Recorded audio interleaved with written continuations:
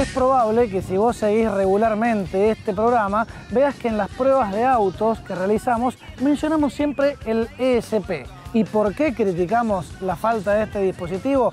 Porque es, creo yo, hoy el recurso de seguridad dinámica más útil y más importante que puede tener un auto. Así que en este informe te vamos a mostrar qué es y cómo funciona el ESP, que es una sigla que viene del inglés de Electronic Stability Program, es decir, del programa de estabilización electrónica.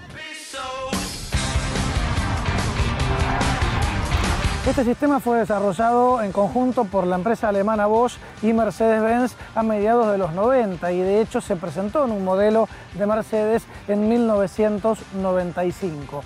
Y la finalidad del ESP es corregir las pérdidas de trayectoria, es decir, cuando el vehículo no tiene más capacidad de adherencia y tiende a sobregirar, por ejemplo, bueno, esa pérdida en la trayectoria segura del auto es compensada, es equilibrada por el ESP.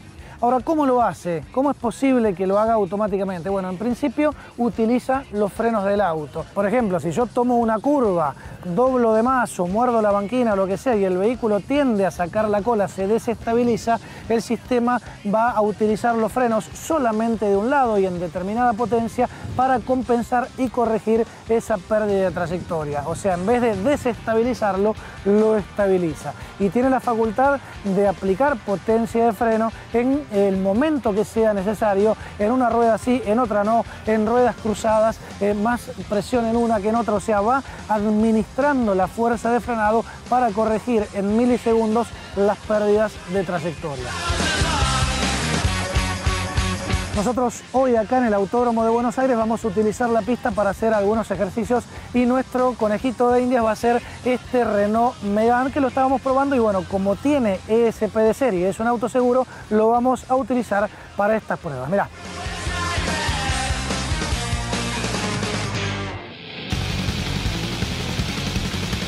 Ahora voy a hacer lo que se denomina slalom, voy a ir esquivando conos a una velocidad de 70 km por hora, recreando situaciones de cambio de dirección bruscas, que suelen ser eh, las causantes a veces de deslizamientos peligrosos trompos y posiblemente también algún vuelco, porque imagínate, a esa velocidad estar cambiando de dirección genera una gran inestabilidad. Vamos a hacerlo y probar entonces la efectividad del control de estabilidad. Vamos. 70 km por hora y vamos.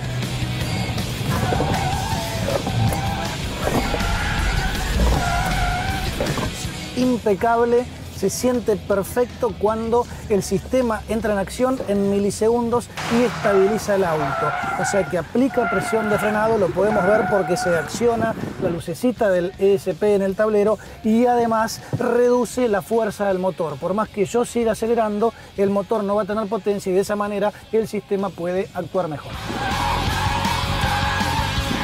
Y ahora fíjate lo que sucede y cómo se comporta un auto sin ESP, sin control de estabilidad, en una prueba de slalom muy similar a la que hicimos recién. Mirá.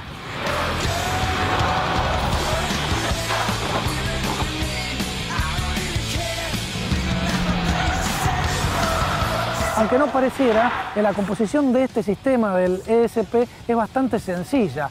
Básicamente tiene un cerebro electrónico que es el que toma toda la información que le envían determinados sensores eh, distribuidos por el auto. Algunos son los que miden la velocidad de la rueda, otros los que miden la dirección del vehículo, es decir, el ángulo de trayectoria del vehículo y otros las aceleraciones transversales, además de tener un sensor también en el volante, en la dirección del auto, porque de esa manera puede determinar también cuál es la intención del conductor al doblar hacia un lado o hacia el otro en medio de una situación de peligro. Y es con toda esta información que esa unidad electrónica determina cómo administrar la fuerza de frenado y en qué momento para estabilizar el vehículo.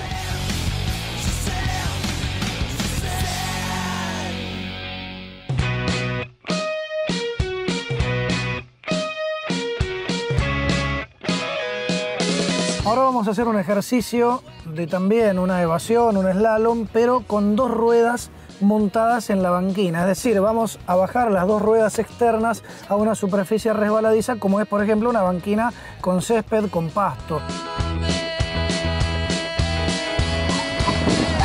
El peligro de esto es que cuando nosotros bajamos de la calzada de pavimento a este suelo poco adherente y queremos corregir, ahí es donde se produce el sobregiro y por lo general esta maniobra nos devuelve a la ruta pero en una situación de trompo, lo cual es peligrosísimo porque si viene otro auto o por ejemplo mordemos alguna superficie más dura, alguna interrupción, posiblemente ese trompo pueda terminar en un vuelco.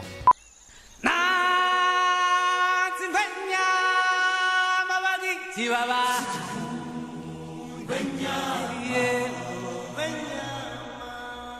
Acá en Argentina difícilmente se nos cruce un ciervo o un alce en la ruta. Tenemos que viajar a regiones específicas para que eso pueda llegar a ocurrir.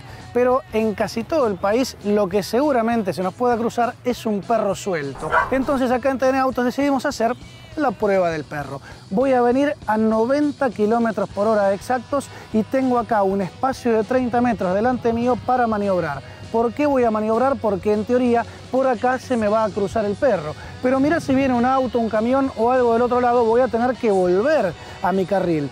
Entonces voy a tener que llamar al auto, llamar a la dirección o pegar un volantazo para esquivar el perro y después volver a mi carril. O sea que en definitiva es como un slalom a alta velocidad.